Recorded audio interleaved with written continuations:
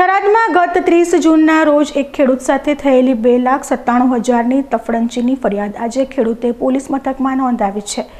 થરાદ તાલુકાના ચારડા ગામના નરસંગજી ચૌહાણ તેમના પાક ધિરાણના મંજૂર થયેલા નાણાં લેવા માટે થરાદની બેંક ઓફ બરોડા શાખામાં ગયા હતા અને ત્યારબાદ નાણાં લઈને પોતાની લુંગીના છેડે બાંધીને જતા હતા.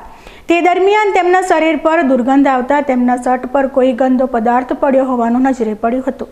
જેથી નરસિંહજી ચૌહાણ હનુમાન ગોળાઈ પાસે આવેલી એક ચાની દુકાન પર આ ગંદા પદાર્થને સાફ કરવા માટે તેમની પાસે રહેલી રોકડ રકમ બાજુમાં મૂકીને સફાઈ કરતા હતા.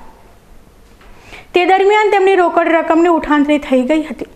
શર્ટની સફાઈ કર્યા બાદ તેમની રોકડ રકમ નજરે ના પડતા નરસંગજી ચૌહાણે આસપાસની દુકાનમાં લાગેલા સીસીટીવી ફૂટેજ ચેક કરતા એક પંદર વર્ષનો અજાણ્યો ટેણીઓ આ તફડંચી કરતા નજરે પડ્યો હતો.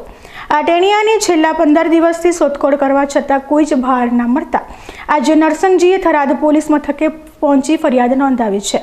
પોલીસે આ ઘટનાના સીસીટીવી ફૂટેજ મેળવવાની તજવીજ હાથ ધરી વધુ તપાસ ચલાવી રહી છે.